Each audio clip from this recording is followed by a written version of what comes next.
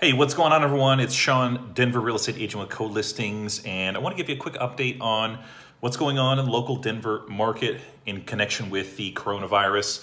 It's a new month, which means that new data is out from March, and it's actually a bit surprising. I was expecting to see just a slight drop towards the end of the month because that's when things started to really pick up in terms of um, orders and closures and things like that. But uh, the, the, the, data is, is really interesting. It, it's as if the real estate market has not seen any disruption yet. And I'll give you a few examples here if I can um, turn the camera around here. So um, you can see here, this is, this is March uh, we're looking at uh, a continued increase in new listings. And um, if I go, I'll show you another data point here. I've put together the data. I'm actually going to do a formal video as soon as I get a chance, maybe today, it might end up being tomorrow. But um, uh, sale price for homes, let's see, it's pulling up here. Again, you see some, some additional positive trending there. Um, it's looking pretty good. I'll show you one more data point here. I'll get into the specific numbers in my formal video. Um, so hang tight on that one. Months, uh, months of house, housing inventory is still insanely low at one month. Uh, cumulative days on market, let's touch on that. And then I'll talk about where I am concerned. So um, just to sort of summarize some of these data points, here's cumulative days on market. Uh, yeah, so continuing to drop, uh, typically we see days on market or how long it takes to sell a house, the highest in the wintertime, which is where you see those peaks. But in the troughs, uh, during the spring and the summertime, they're, they're actually quite low.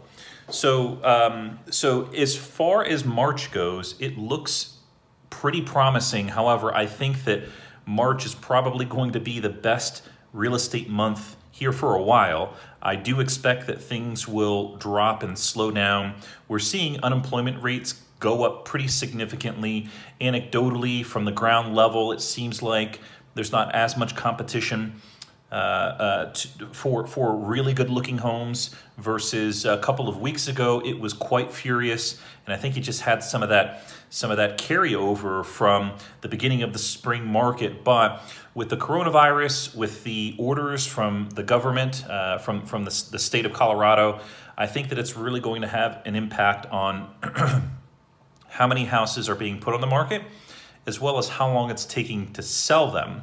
I don't think that we're going to see as many new listings uh, in the month of April as we did in the month of March. So I think that's going to be one impact. Um, um, uh, mortgage rates seem to be a little bit volatile, a little bit manic. So I think that that's something that people are, are probably keeping an eye on.